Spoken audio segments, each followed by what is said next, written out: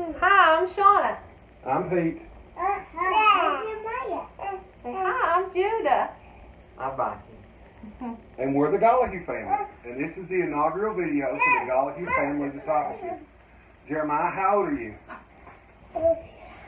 We practiced. He didn't do good. He's three. Judah is 16 months.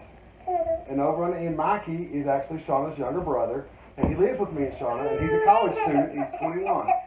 And this is our family. Hello, everyone, again. I'm Pete, and this is Shauna Gollihue. Uh, we are starting to do some discipleship online, and we wanted to share that with others on YouTube and Facebook. One of the ways we want to do that is through a video. And uh, we live in southern West Virginia in a small community called uh, Man, West Virginia. And we actually attend uh, Man Church of God. We're both ordained ministers through the Church of God. And uh, we wanted to share our discipleship process with others. And hopefully you share your processes with us and we learn from each other. We grow from uh, what each of us have. Uh, as we start this video you've already met the children so anytime you may hear them yell or scream or run into the room and jump on me or jump on Shauna. So just ignore that if that happens but uh, one of the things that, that we want to talk about is, is, is what is the Gollihue family discipleship and uh, what it is is our hearts have been set on fire that we want to bring the Word of God back into the home. Uh, past generations raised their families with each father being a pastor and the Word of God being taught in the home and the Word of God being uh, implemented and worship taking place in the home and things. And we've got away from that as a church. We've farmed out this discipleship process to others when in actuality we need to take ownership of it. Right. The the mother and the father set the atmosphere in the home. Therefore, um, whatever their attitude is, whatever their outlook is, whatever their wisdom is, the decisions that they make is a, a direct reflection in their children. So we want to uh, just encourage everyone uh, to live by the word, to, to make wise decisions, to uh, walk by the Spirit. And uh, so we are just encouraging you to take it back. Uh, live intentionally. Live every day intentionally um, so that you are uh, hitting the mark, and so that your children will also hit the mark. And as we as we get into this process, we want to be completely open and honest with you. It's not an easy process to disciple your family. The thing that we want to encourage you with is persistence. It's something you have to do on a daily basis. It's something you have to live out before them. And you may not have small children. You may just be a husband and wife. Uh, you may be a single individual who has people in their community that they can influence. And these precepts and these principles, hopefully, that come across is something that all of us can apply because the discipleship process is continually giving and taking of others in the Christian walk. Uh, in my life, I need people to sow into my life who help me grow closer to Jesus Christ. I also need people that I'm leading closer to Jesus Christ in my life. So that's the discipleship process. So, what's the method? The method that we use in our home is, is the, what we call the E4 process. And we developed this E4 discipleship method through, through youth ministries and things that we've done in the past. But the process basically is a fancy way of taking four words that begin with the letter E and trying to do them every day in our life. And the first of those four words is you want to encounter God every day. Right. So many times what we do is we limit our encounters to God to church services. Wednesday night, Sunday morning, Sunday night, that's when we encounter God. Well, in the in our in our family discipleship, we want every day for encounters to God to take place. Right. Intentionally making time for God. Intentionally um, um, setting time aside and encountering God. And the ways you do that may look different in every home. Yeah. But some of the processes that, that you can use and, and that work is, is you want to read God's Word. Yeah. That's a definite way to encounter God. Uh, John chapter 1 uh, says that Jesus was the Word in flesh. Yeah. So we want the Word of God. We want Jesus in our home. So every day our family reads the Word of God. Right. You can do that also through prayer. Right? Pray together. That's what you want to do. Prayer is a great way to encounter God. And then the second method is to exalt God. So uh, we set aside time to make sure that we lift God up. Now, um, it's obvious that we lift God up in worship or praise. Um, that seems like the simplest form to exalt God.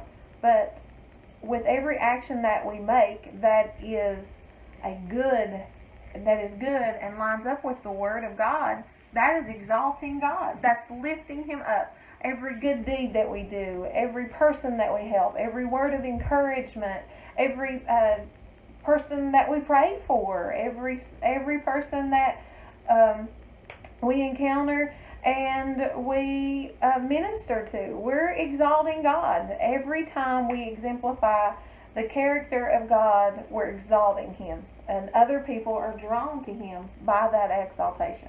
And one of the greatest ways that you can exalt uh, God in your life is simply by obeying God.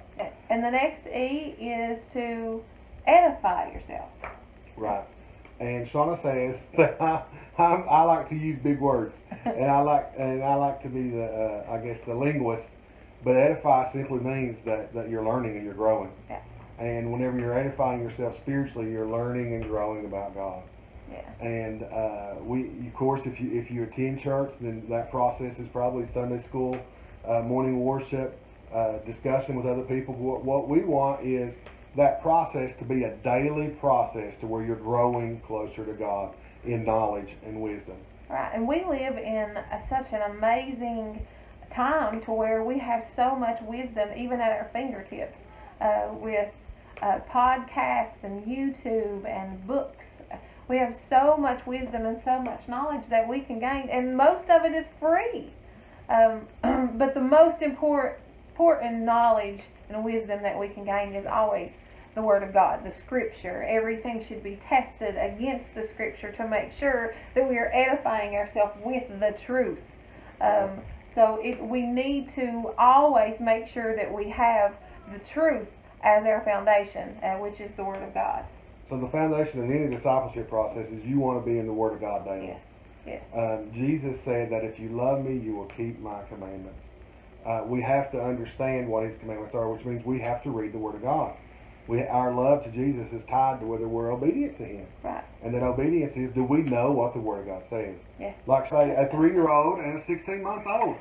And a lot of times, uh, that discipleship process for us might be us reading the Scripture, then having to stop and break it down, maybe act it out for them, or uh, rephrase it for them, for them to try to grasp and understand what we're talking about. Right. But the process does no good if they don't receive anything from it as well. Right. So we have to take that extra time to do that for them. Right. And then we have to, of course, sow into ourselves as well Yeah.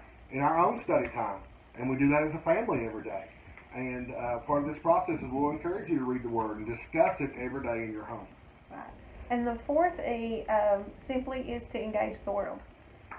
Um, it is uh, telling others about the love of Christ, showing others the love of Christ, um, giving the gospel message, uh, being um, who God's called you to be, fulfilling your call, whether it be teaching, preaching, singing, uh, nursing, whatever God's called you into. He's given you an anointing.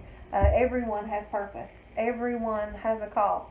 Um, so engage the world with that call that God has given you, with that purpose that He has sown on the inside of you. And that engaging process go, go, is twofold. It's, it's, it's engaging the world and engaging the church. Right. Uh, you want to be in a process to where you're, you're spending time with other believers as well. It's so easily uh, to be isolated. Just just yesterday, Shauna and I was talking about how isolated we are because uh, individuals our age that are our friends don't have children as young as we do. Yep. We got started late in life. So we're kind of at a disadvantage with, with friends and, and, and different things. And sometimes we feel isolated. We feel like we're alone. We feel like we don't have individuals that we can share with. But that process is something that, that you have to do with believers as well. And then again, it goes to the world. Uh, your workplace, the marketplace, wherever you're at, you need to be instilling into people the Word of God. You need to be instilling people prayer. You need to be instilling into people that Jesus loves them, that Jesus died for them, that He is the way for their eternal salvation. That's right. So um, that is our E4 method. Uh, those are things that we try to focus on and, and uh, accomplish daily. Um, do we, are we successful every day? No. No, but we're trying. We're trying to be every day successful, a better disciple, so that we can disciple our children, uh, that we can prepare them for what God has called them to.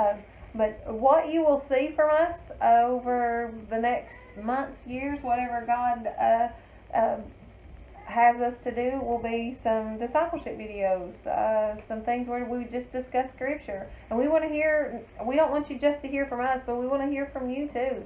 Uh, I I want to learn from you. We want to know what you do with your kids. What's That's right. successful with your children? Yes. How do they learn? Because that might be something that we can share with our children and they learn. Right, and, and we'll share some of our experiences and uh, with the, the the age that we're in, the the generation knowing uh, so much of social media dictates your lives.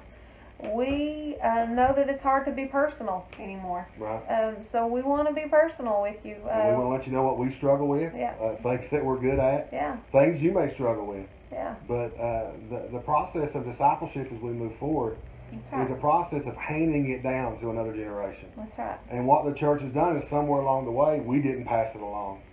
Uh, we've got youth who, who, who do not know God. Right. They don't know the process. And uh, we've, we're about to, we're probably about a generation away from losing the church completely. It's, it's that, it's that, it's that dire in our nation that the, uh, the process of, of Christianity through salvation and, and the discipleship needs to be passed on through families and through communities and through others. So it's important that it starts at home. It's important that it's in your home. That that the word of God is in your home. That worship is in your home. That prayer is in your home. That uh, thanksgiving is in your home. That grace is in your home. Um, so we we will share our experiences. We will share some blogs and lessons. Uh, we want we want to communicate with you. We want you, um, you to um, challenge us as we will challenge you, as God challenges us. So um, we hope to see you guys. We hope to uh, communicate with everybody. and uh, here's to an adventure that God has led us on.